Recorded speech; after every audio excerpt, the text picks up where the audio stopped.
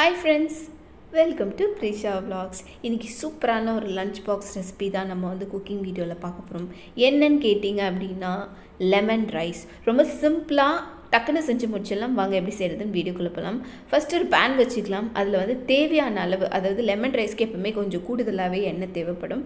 So தாளிப்புக்கு ஏற்ற மாதிரி நம்ம எண்ணெய் சேர்த்துக்கலாம். எண்ணெய் சேர்த்துட்டு இதுக்கு தேவையான அளவு கடுகு ஒரு ஒ- ஒரு கைப்பிடி அளவுக்கு கடலைப்பருப்பு. இதில் நீங்கள் வந்து வேர்க்கடலை முந்திரி பருப்பு உங்களுக்கு என்ன என்ன இஷ்டமோ அந்த மாதிரி எது வேணால் சேர்த்துக்கலாம். இப்போ நம்ம உளுத்தம் பருப்பு சேர்த்தாச்சு. இதெல்லாம் வந்து நல்லா வந்து ஓரளவுக்கு பொரியணும். பொரிஞ்சதும் நான் வந்து ஒரு துண்டு இஞ்சை குட்டி குட்டியாக கட் பண்ணி வச்சுருக்கேன். அதே மாதிரி ஒரு பச்சை மிளகா குட்டி குட்டியாக கட் பண்ணி வச்சுருக்கேன். அதே மாதிரி ஒரு கைப்பிடி அளவு கருவேப்பிலை ஒரு கைப்பிடி அளவு கொத்தமல்லி. கொஞ்சமாக தேவைக்கேற்ப பெருங்காயத்தூள் போட்டுக்கோங்க.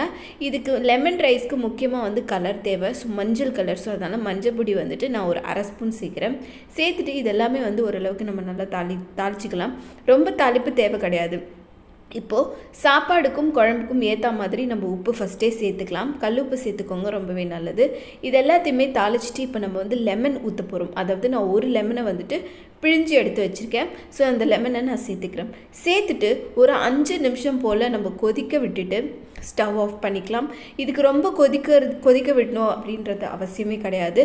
ஒரு நம்ம லெமனை ஊற்றிட்டு ஒரு அஞ்சு நிமிஷம் கரெக்டாக ஸ்டவ் ஆஃப் பண்ணிவிட்டு சாப்பாடு போட்டு நம்ம கிளறி எடுத்துக்கலாம். இப்போ சூடாக நம்ம சாப்பாடு போட்டு கிளறி எடுத்துக்கலாம். கூடவே ஒரு ஸ்பூன் நெய் ஆட் பண்ணி சேர்த்து கிளறி பாருங்கள் சாப்பாடு ரொம்பவே அருமையாக இருக்கும். கண்டிப்பாக நீங்களும் உங்கள் வீட்டில் ட்ரை பண்ணுங்கள் லெமன் ரைஸ் பிடிக்காதுன்னு சொல்கிற குழந்தைங்க யாருமே இருக்க மாட்டாங்க. கண்டிப்பாக இந்த மாதிரி நீங்கள் ஒரு லஞ்ச் பாக்ஸ் ரெசிபி அவங்களுக்கு ரொம்ப சிம்பிளாக நமக்கு மார்னிங் ஏஞ்சி சமைக்க முடியல. இப்படி ஒரு சிம்பிளான ஒரு டிஷ் டக்குன்னு நம்ம ஃபைவ் மினிட்ஸில் செஞ்சு கொடுத்துடலாம். கண்டிப்பாக நீங்களும் உங்கள் குழந்தைகளுக்கு இதே மாதிரி செஞ்சு கொடுங்க. செஞ்சு கொடுத்துட்டு எப்படி இருந்துச்சுன்னு எனக்கு ஃபீட்பேக் சொல்லுங்கள் அதுக்கு முன்னாடி கண்டிப்பாக ப்ரீஷா விளாக்ஸ் சேனலையும் சப்ஸ்கிரைப் பண்ணிவிட்டு பக்கத்தில் இருக்க பெல் ஐக்கானை கிளிக் பண்ணிக்கோங்க. Bye friends